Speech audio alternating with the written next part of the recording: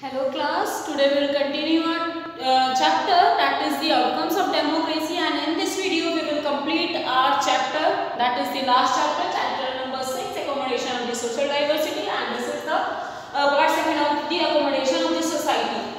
What accommodation, what facility is provided by the democracy. The next one is the provide better goals.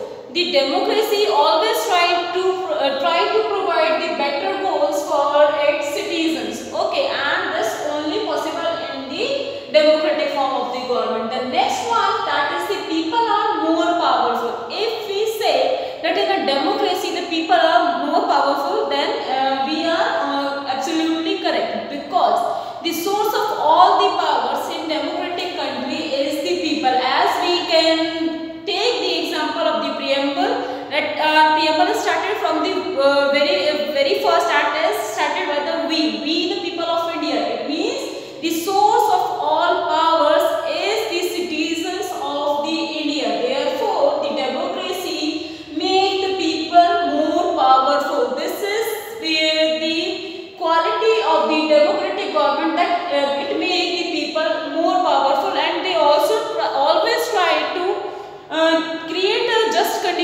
uh, create a condition for a just society and always try to fulfill the aspirations, the goals of the people. By this our chapter is complete class and in the next video I will start the new chapter.